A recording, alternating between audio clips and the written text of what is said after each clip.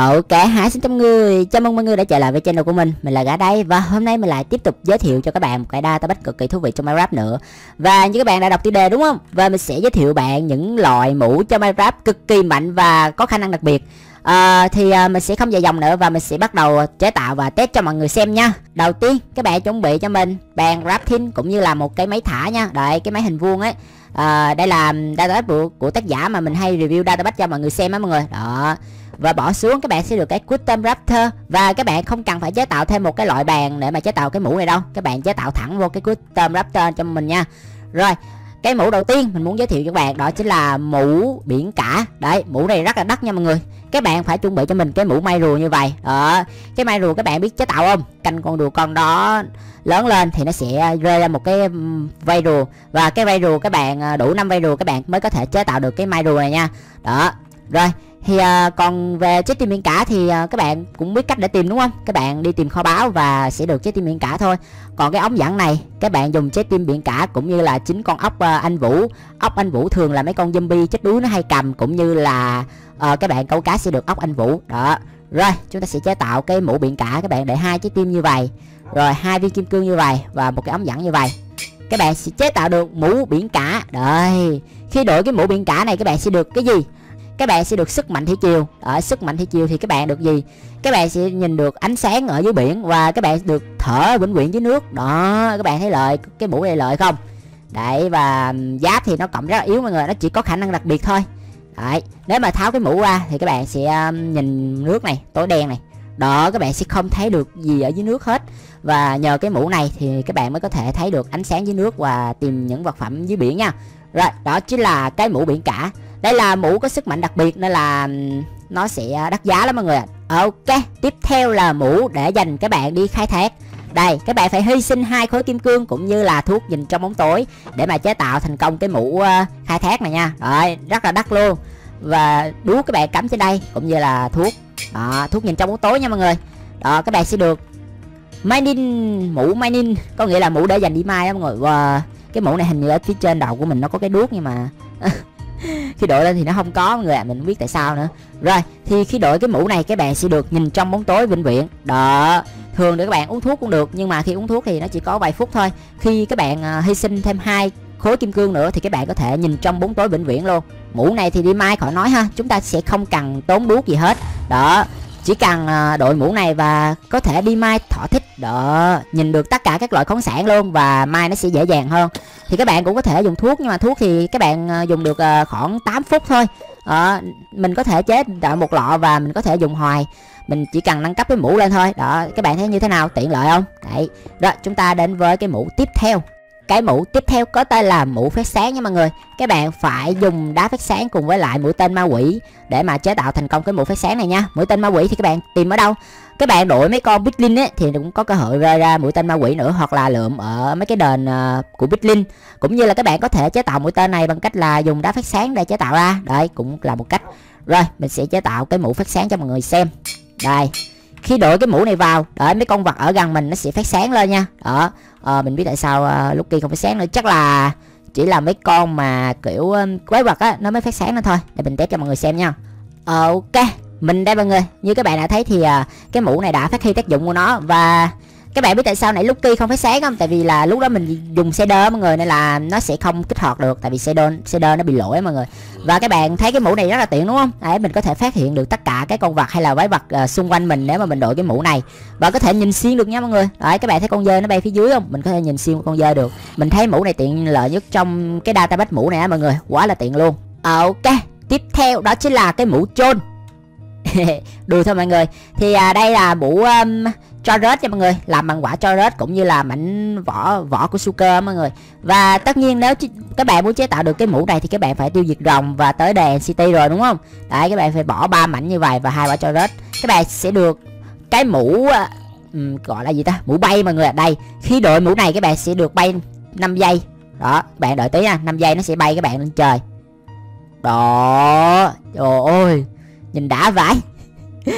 Và cái mũ này cũng khá là thích hợp cho những bạn à, thích trôn á. Đợi bay level 2 nha và bay mãi bay mãi luôn nha. Đấy tháo cái mũ ra thì các bạn vẫn bay nhưng mà vài giây thôi nó sẽ rơi xuống. Và các bạn nghĩ mình bay đâu? Như là kiểu mình không có trọng lực vậy mọi người ạ. À. ui nó bay mãi như vậy nè. Không biết khi nào nó dừng nữa. Đó nếu mà tháo cái mũ ui đấy chế tạo mũ này thì các bạn cũng có thể hoàn thành được thành tích từ trên đây nhìn xuống đẹp thật đấy có nghĩa là thành tích của suke đấy. Và tháo mũ này này. Đấy rồi no. Đấy các bạn thấy mũ này như thế nào? Thú vị lắm đúng không? Ui bay mãi bay mãi luôn. Đã thật. Ờ, mũ của Suker các bạn có thể gọi đây là mũ của Suker nha. Đó. Dành cho những bạn ui đưa cho bạn bè bảo ui cái mũ này à, ta chế tạo cực lắm này. Mày đợi vội đội vô đi. Mày sẽ được một cái uh, uh, gì đó hoặc là được kim cương gì đó. Không ngờ là cái mũ này sẽ bay lên và rơi xuống. Đó nào mà tháo ra không kịp thì rơi xuống sẽ mắc vài máu đó mọi người. Rồi ok đó chính là mũ ờ, uh, Suker nha. Ok chiếc mũ tiếp theo có tên là chiếc mũ người giàu nha mọi người. Khi đổi chiếc mũ này vô thì các bạn sẽ được hiệu ấn may mắn. Các bạn nhặt rương sẽ được đồ ngon hơn và nói chung là mở rương các bạn auto được đồ ngon thôi. Tại vì đây là mũ may mắn mà. Đó các bạn sẽ được may mắn hai này. Đấy đi đào kim cương thì các bạn sẽ dễ tìm thấy kim cương hơn. Đùa thôi mọi người ạ. À. nói chung là khi các bạn mở rương á chiến lợi phẩm từ cái rương nó sẽ ngon hơn các bạn hiểu không? Đó là cái mũ dành cho người giàu là vậy á. Đấy nhặt đồ thì auto giàu thôi. Nên là cái mũ này mới gọi là mũ người giàu vậy hiểu không? Đấy nó chỉ à, được như vậy thôi. Và mình sẽ à, đi mở rương và test cho mọi người xem nha. Ờ, ok. Như các bạn thấy đằng sau mình là làng đúng không? Nhưng mà mình đã kiểm tra rồi. Làng không có cái chết nào để mình mở hết mọi người. Nhưng mà phát hiện ở đây có một cái chết của cái cổng địa ngục tàn tích của mấy bọn ma heo á mọi người. Không biết là mình sẽ được uh, may mắn như thế nào đây? Hơi ba. Ô ô nhìn nè mọi người tao bạn thường tao bạn phù phép. Kiếm vàng nhật. Kiếm vàng sắc bén năm. Ừ, Đù mình à. Oh my god, các bạn thấy chưa? Mình nghĩ nếu mà các bạn hay mà đi nhặt mấy cái chết á, lập tức chế tạo cái mũ này cho mình. Nó thực sự rất là ngon luôn. Và làm chế tao vàng phép chơi. Ui đã thực sự mọi người ạ. à ok chiếc mũ tiếp theo có tên là chiếc mũ nông nghiệp nha mọi người. Khi đội chiếc mũ này vào các bạn sẽ gọi là làm cho những cái hạt giống ở đó nó phát triển rất là nhanh luôn. Đây kiện rơm và hai cái cuốc kim cương. Đây rất là tốn chi phí để mà chế tạo được cái uh, uh, mũ nông nghiệp này. Cà rốt khoai tây nha mọi người. Đấy. Và các bạn nhìn này mũ thằng nông. Ấy các bạn có thể gọi đây là một cái mũ gọi là mũ thằng nông ấy rất là hay luôn. Farming rồi khi đổi cái mũ này vô thì nãy mình đã nói rồi đúng không? Khả năng mình đã nói rồi là là sẽ làm cho hạt giống nhanh phát triển hơn. Đây. Đó, bạn nhìn đi. Ấm bà là xì bù, ấm bà là xì bù, ấm bà là xì bù lớn nhanh đi hạt giống ơi. Phát triển đi hạt giống ơi. Để đổi lại nè. Hãy nặng nặng cho hạt giống mọc lên nào.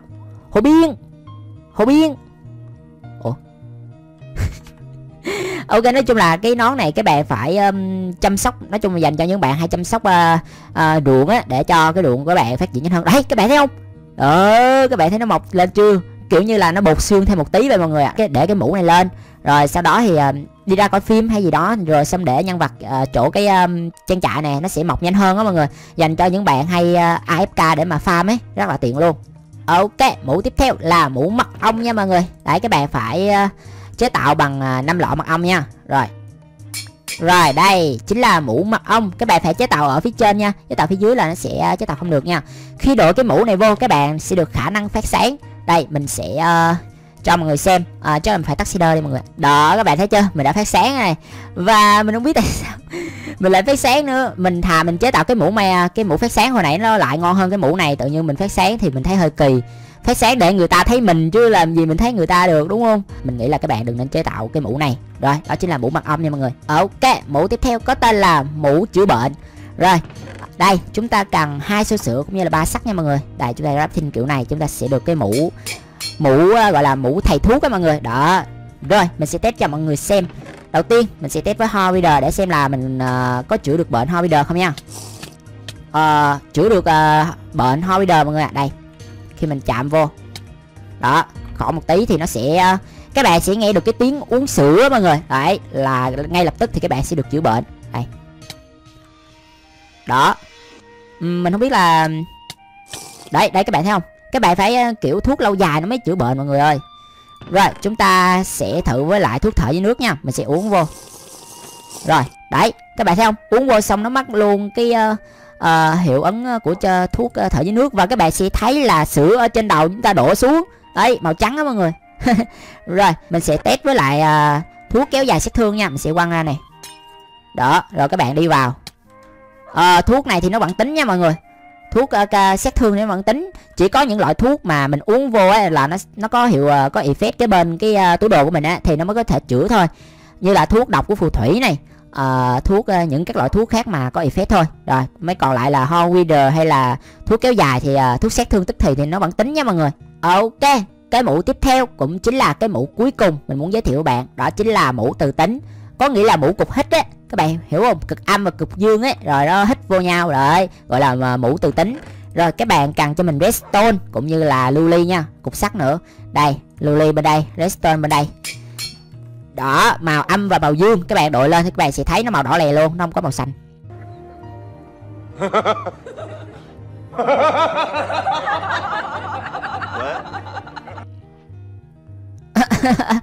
Chán tác giả vậy. Nhìn làm cái mũ này mọi người. Nhìn ở ngoài này thì nó đẹp lắm đây. Xanh và đỏ. Và ở trên diện là sắc đúng không? Đội lên, đỏ lè luôn. Rồi, khả năng của nó là gì? Đây mình sẽ ờ, quăng ra ngồi đây. Nó sẽ hít vô này đó các bạn thấy không?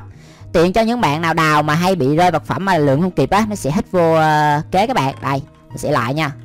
Đó. Đó các bạn thấy không? Đi ra phía xa như vậy nó vẫn hít được này. Đây đây đây đây. Tận phía này. Rồi chuẩn bị nha. Đứng gần một tí nữa này. Khoảng ờ, 10 lóc hay sao đó mọi người.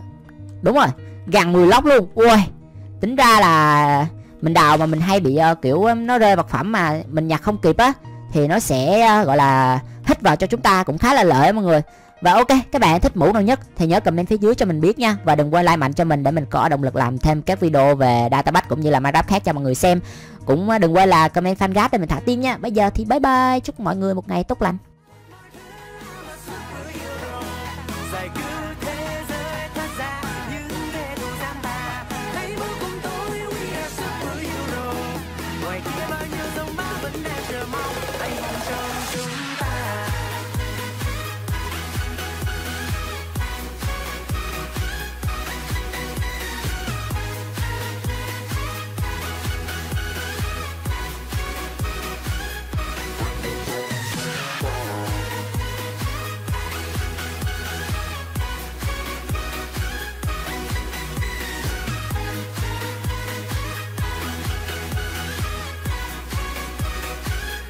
Anh hùng trong